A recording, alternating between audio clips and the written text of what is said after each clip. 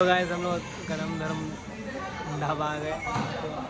वाले मैं और पीछे अल्ताफ भाई, ये सकते इनके तो आज हम लोग जो आए हैं, ये इधर जो ये है, गरम गरम जी, गरम गरम का हम लोग स्टार्ट है। तो एक्चुअल में ये तो बहुत बड़ा है। अब देखेंगे तो अच्छा खासा बड़ा है ये। और हमने परा- पराठा में भी ट्राई किया है बहुत अच्छा है। बाइक उनका ये ना ये। तो वी कैन गो देयर